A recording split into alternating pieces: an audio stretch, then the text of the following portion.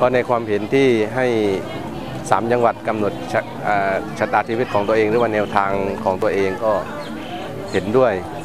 เพราะว่าทุกวันนี้ปัญหาที่เกิดขึ้นใน3จังหวัดคือ คนในพื้นที่ไม่มีส่วนร่วมในการแก้ปัญหา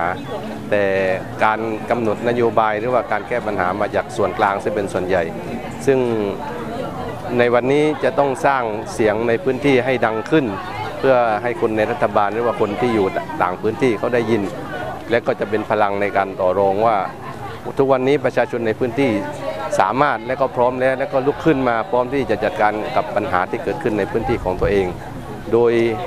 ให้คนนอกเป็นคนแค่ที่สนับสนุนและก็มองดู แต่ว่าการดำเนินการทั้งหมด สมควรที่จะให้คนในพื้นที่ทำเองและก็คิดเองและก็กำหนดชะตากรรมชีวิตของตัวเองครับ